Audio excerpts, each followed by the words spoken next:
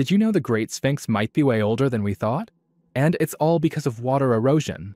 The mainstream says the Sphinx was built about 4,500 years ago during Egypt's Old Kingdom. But some scientists see weathering patterns on the limestone that look like they were carved by thousands of years of heavy rain, way before Egypt became a desert. Geologist Robert Schoch and Egyptologist John Anthony West argue that this water erosion means the Sphinx could be up to 10,000 to 12,000 years old, carved at the end of the last ice age when the climate was much wetter. Schoch's seismic studies back this up, showing erosion patterns consistent with prolonged rainfall, not just wind and sand. This challenges the accepted history and suggests a lost ancient civilization might have existed but it's controversial.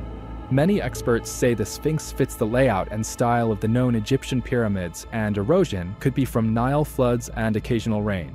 So, is the Sphinx much older than we think? What's your take on this mystery? Follow for more ancient mysteries and hit like if you love history mysteries.